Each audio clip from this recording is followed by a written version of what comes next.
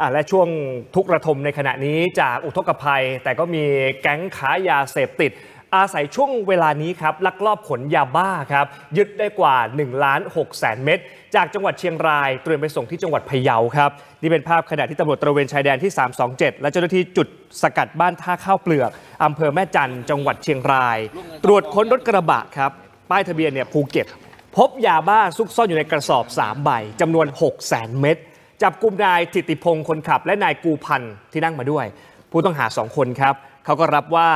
นำยาบ้าไปส่งในพื้นที่อำเภอภูซางจังหวัดพะเยา แลกกับเงิน 90,000 บาทเป็นค่าจ้าง ค่ะ มาแล้วก็ไม่ได้แค่6 0 0 0 0เม็ดเท่านั้นนะครับ เพราะว่าเจ้าหน้าที่ก็ขยายผลต่อ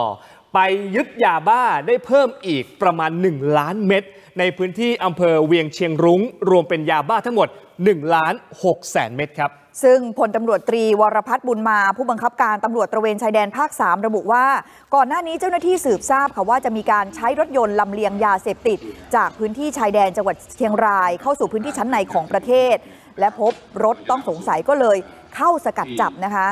ยืนยันว่าแม้ช่วงนี้เจ้าหน้าที่ตำรวจระดมไปช่วยน้ำท่วมกัน แต่ว่าก็ยังคงเข้มงวดในการป้องกันปราบปรามยาเสพติด ไม่ให้ทะลักเข้าสู่ชั้นในของประเทศค่ะ